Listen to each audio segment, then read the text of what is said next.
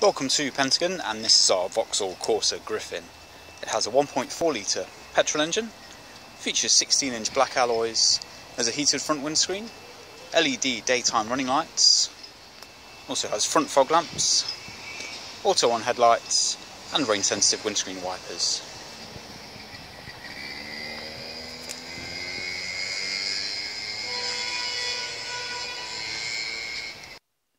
Moving to the interior, in the front is the IntelliLink entertainment system, which is touchscreen and features satellite navigation, Bluetooth connectivity, there's also a DAB radio and USB input.